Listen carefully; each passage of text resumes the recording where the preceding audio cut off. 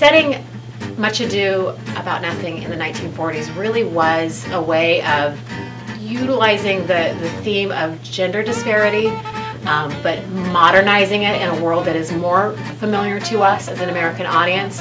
Bringing in those, uh, the hints of musicals, the hints of that ho old Hollywood musical is really special. It just puts this this tone and this color over what is such a familiar story that it, it's there's an ebullience to this you automatically are in a great mood because you're doing Shakespeare. And then it's like, oh, by the way, guys, we're doing dancing, and it's gonna be swing dancing, and you're like, oh, sign me up. It, it was so much fun learning all these dances. I especially love the USO number because it's adorable.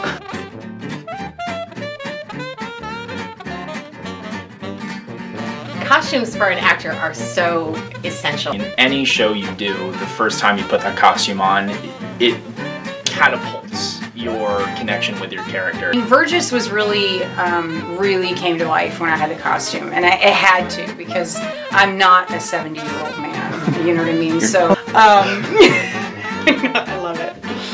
Uh, Frank has given me several silhouettes to work with that really allow Beatrice to be the many things that she is. They are heightening what you've been working on and you get to relax and just fall into the period and the show.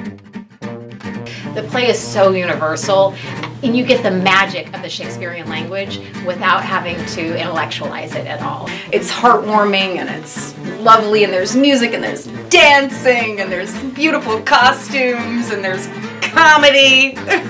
There's going to be something that's going to make you go, oh wow. What more do you want? It's just really a, a special way for anybody to experience Shakespeare, um, even if it's the only time you ever do.